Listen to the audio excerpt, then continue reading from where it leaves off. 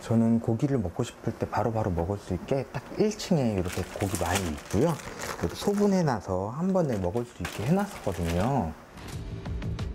이 많은 고기들이 일주일이면 소진된다고 하는데 고지혈증임에도 불구하고 그가 고기를 먹는 이유는 무엇일까?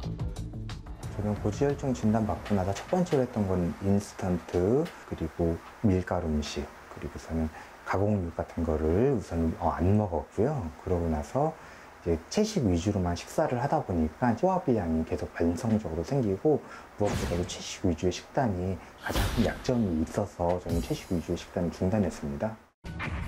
채식 위주의 식단에 약점이 있다? 비타민과 식이섬유가 풍부한 채식 위주의 식단은 건강한 삶을 위한 필수 요소로 여겨지는데 한때 채식주의자의 삶을 살았지만 지금은 오히려 육식 섭취를 더욱 중요하게 생각한다는 송경환 전문의. 그 이유는 무엇일까? 채식만 위주로 하다 보면은 무엇보다도 칼로리가 부족할 수 있고요. 그리고 신진대사에 꼭 필요한 비타민 B12번이나 철분, 단백질 같은 것들이 부족할 수 있거든요. 특히나 비타민 B12번 같은 경우에는 혈액을 만드는 어, 소스인데요.